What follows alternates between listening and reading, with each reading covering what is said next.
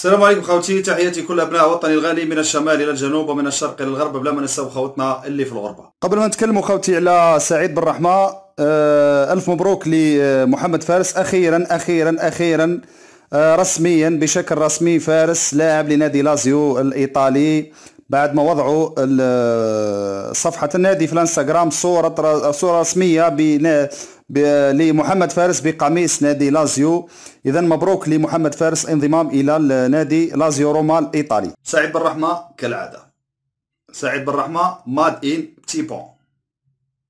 سعيد بن رحمة صناعة ال petit pont باسم سعيد بن رحمة. les petits ponts made in سعيد بن رحمة. les petits ponts made in سعيد بن رحمة. الفنيات made in سعيد بن رحمة.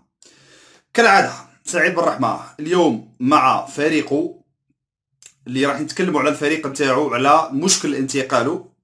القضية مش قضية وكيل ولا ماناجير ولا شركة قلتها ونعاودها. قضية بعض الشروط اللي تتوفر في لاعبين اللي مطلوبين بكثرة في الدوري الإنجليزي. اللي تكلمت عليها سابقا وشرط أساسي أيضا موافقة النادي وطلب النادي. نبداو ساعة بالنادي وبعدها نتكلموا على واش دار اليوم سعيد بن الرحمه سعيد بن الرحمه النادي تاعو حسب صحيفة ذا تيليغراف إنها هي اللي معرقلة انتقال اللاعب لنوادي أخرى. نادي آه، برنتفورد يطالب بمبالغ مالية كبيرة. مبالغ مالية كبيرة آه، هي اللي عرقلت انتقال آه، سعيد بن رحمة لنادي لأي نادي في الدوري الإنجليزي الممتاز. هذه كخلاصة قبل ما نبداو نطرقوا الموضوع إذا مشكلة سعيد بن رحمة هي مشكلة نادي وفقط. آه نادي يريد مبالغ مالية كبيرة في تحويل النجم نتاعو الوحيد. هذا الصراحه سعيد بن رحمة هو برنتفورد دون إنقاص من قيمة اللاعبين الآخرين ولا المدرب ولا عمل المدرب ولا لكن النجم الأول ونجم الفريق الأول. نجم الفريق الأول مش بالسهل يروح باطل. هما عندهم هكا تصور نتاعهم.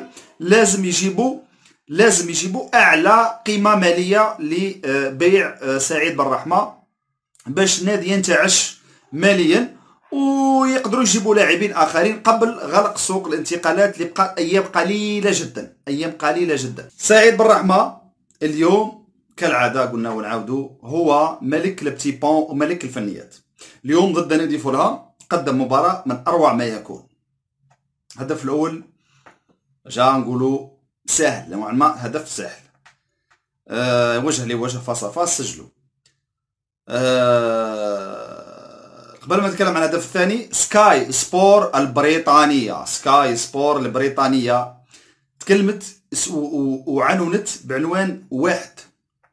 كيف إنه الأندية ال Premier League ما تتابعش لاعب مثل سعيد بن رحمة؟ يعني كيف وا يعني أندية مثل أندية ال Premier League إنها ما تتبعش لاعب كيما هذا. لأن سعيد بن رحمة مستواه صراحة قلتها عديد من المرات. مستواه Premier League مشكلة سعيد بن رحمة ماهيش مشكلة في اللاعب ولا قلتها ونعاودها في الوكيل مشكلته في النادي نتاعو وما نذكرلاش نرجعوا لها الهدف الثاني اللي سجله سعيد بن رحمة يبقى صناعة سعيد بن رحمة. made in سعيد بن رحمة. les petits ponts الفنيات. دقه التسديدة. فن فن. هدف فن. هذه صناعة سعيد بن رحمة. صناعة سعيد بن رحمة. سعيد بن رحمة أيضا اللي تكلمت عليه The Sun وتكلمت عليه وطرقت عليه بإسهاب كبير جدا. تألق اللاعب هذا واللاعب هذا اللي عنده كانت عنده عروض كبيرة من أندية Premier League. وأيضا اللاعب هذا اللي أعطاه موقع هوسكورد العالمي. موقع هوسكورد أعطاه آه، أعلى نقطة ولا رجل مقابلة 9.2 9.2 بحكم تمرير هدفين في أروع ما يكون خاصة الهدف الثاني. الهدف الثاني top أنا بالنسبة لي لحد الساعة هدف الموسم. هدف الموسم بالنسبة لي. أه سعيد بن رحمة أيضا تحصل على جائزة كاراباو كاب هذه. أحسن رجل مقابلة وأحسن لاعب في المقابلة. يعني أه بصراحة رأيي يبقى أه سعيد بن رحمة من أحسن المواهب الجزائرية الآن متألقة في أوروبا. آه، صحيح الجنسية تلعب دور هذه شيء مفروغ منه لكن أيضا النادي آه، متمسك فيه وصعب صعب أنه يغادر بسهولة.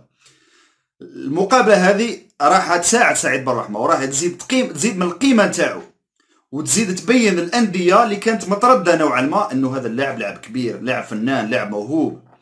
يعني لما تشتري لاعب سعيد بن الرحمه راك ماكش تخسر دراهمك ولا طيش دراهمك يعني بالدارجه تاعنا. راح تشري موهبة وراح تشتري لاعب فنان.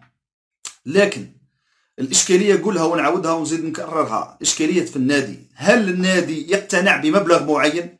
هل النادي بعد ما شاف الأداء الرائع والفنيات المستوى العالي نتاع سعيد بن الرحمه هل بالسهوله يترك اللاعب؟ أسئلة بقى لها أيام قليلة جدا. ونشوفوا الإجابة. أنا واش نقول لكم خاوتي رايي رايي الخاص بعد مقابلة اليوم صعيب صعيب النادي باش يطلقوا بسهولة. باش يطلقوا بسهولة صعيبة. ممكن يروح بصح قيمة العرض ولا العرض المالي كم؟ القيمة المالية كم؟ هل يقبل برنتفورد بمبلغ معين؟ ماناش عارفين. بقاو أيام قليلة جدا. وينكشف كل الأمور كل الأمور تنكشف. ربما يبقى مع النادي وإذا بقى مع النادي بسبب مبالغ المبلغ المالي ولا المال القيمة المالية اللي اللي عجزت عليها الأندية باش تدفعها في سعيد بن الرحمه رغم إني هنايا رايي الخاص كاين لاعبين يلعبوا في بريمير ليغ أقل من سعيد بن الرحمه بمستويات كبيرة جدا أقل منه ولكن تباعوا واشتراو بمبالغ مالية كبيرة. هذه مجرد رايي أنا الشخصي لكن أنا نشوف باللي سعيد بن الرحمه خاصة بعد أداء اليوم بعد أداء اليوم نوعا ما الأمور راح تصعب من ناحية ماذا تصعب؟ تصعب من ناحية النادي تاعو نادي برنتفورد اللي راح ما يفرطش بالساهل.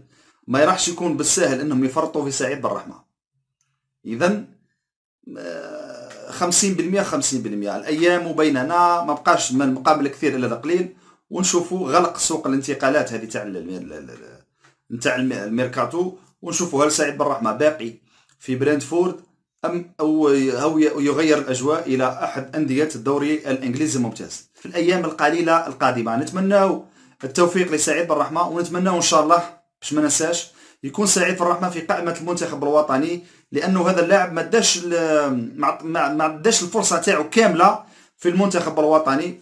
عندنا مقابلتين وديتين مع نيجيريا ومع المكسيك. إن شاء الله نشوفوا سعيد بن الرحمة يلعب مدة طويلة جدا باش نقدروا نقيموا المستوى نتاعو ضد نيجيريا لفريق منتخب محترم وضد أيضا المكسيك اللي يبقى منتخب عالمي.